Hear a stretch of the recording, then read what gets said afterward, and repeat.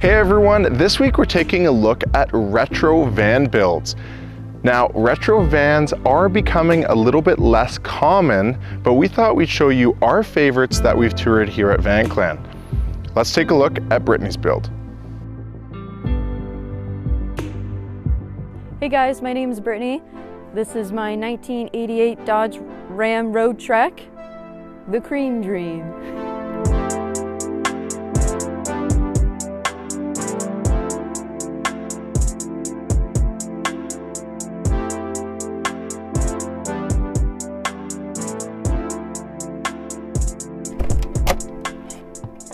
Come take a look on the inside.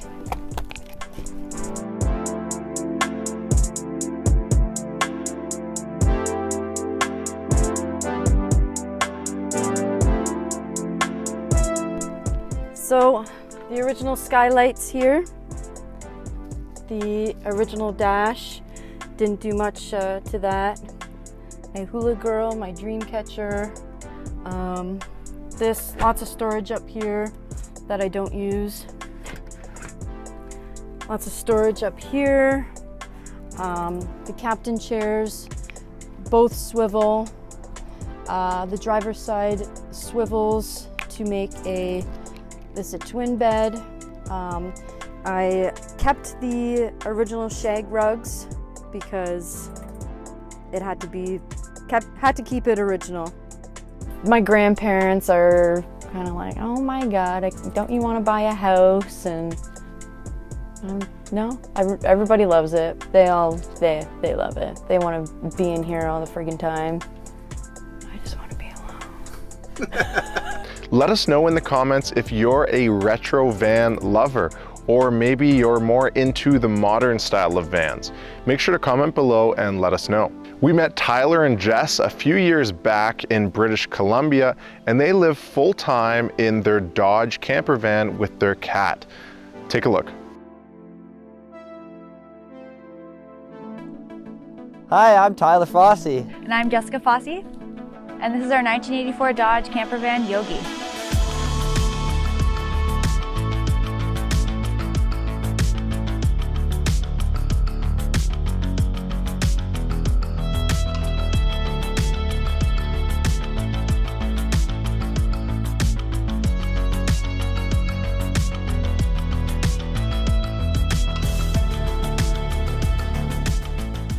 Yeah, we were sick of paying so much for rent and we also kind of wanted to go see the world and do some vacationing and that. And so we kind of mixed it together and we saw a couple people doing van life and we thought that was pretty cool. So that was back in 2018. We got married and then after our honeymoon, we took off to the West Coast. Hey guys, welcome to the inside of our van.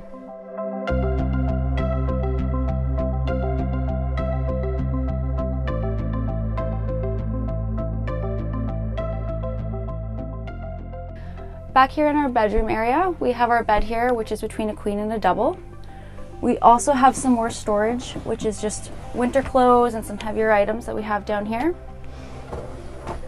We also have the other half of our storage here is actually for our cat Shisha.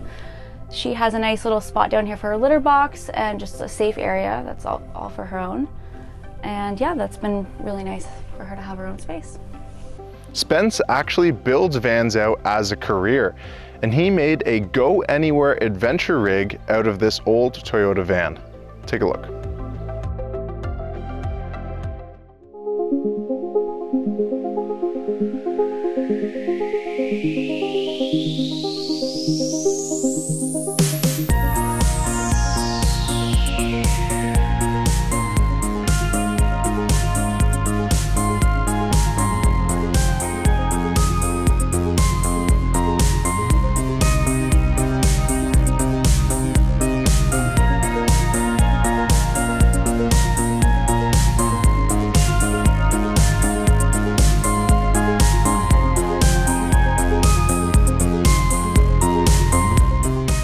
Uh, hi, my name's Spence and this is my 1991 Toyota Hiace.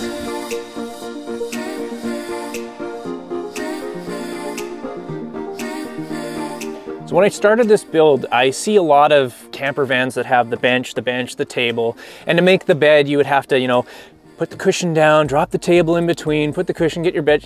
No. See, for me, I tend to drive until I physically can't anymore, so I'll just pull off the side of the road and to set up my bed, all you gotta do is pull this leg out, twist this knob, and the bed just comes right down. Sleeping bag's already folded up, so you just open her up and you're good to go to bed, just like that.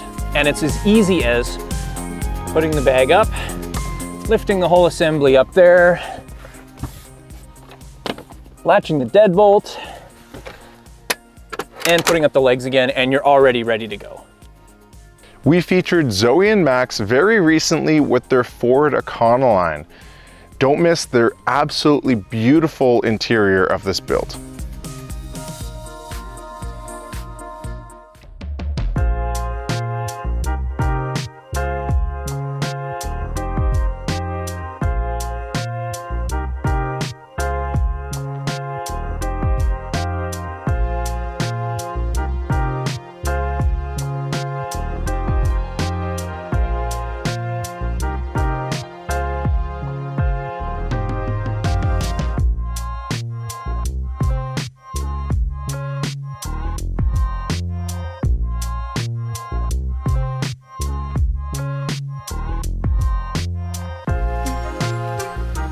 What's up guys? My name's Zoe. And I'm Max, and we're full-time photographers and YouTubers living in our 1981 Ford E150 camper van. So let's go check it out.